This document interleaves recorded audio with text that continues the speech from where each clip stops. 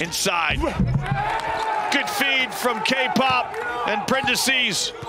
Yeah, Printezis has a matchup that he fancies. San Rose is trying to commit the foul. And the shot's good. That is a patented Printezis push shot.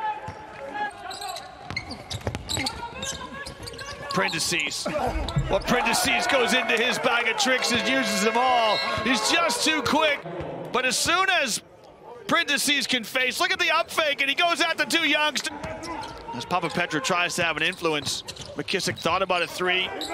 They'll move it on to Printezis, and Printezis makes it rain.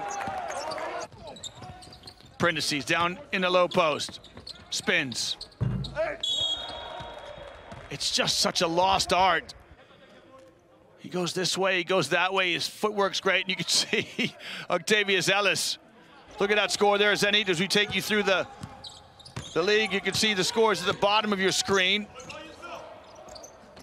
Printezis, he's just so patient. He's so strong.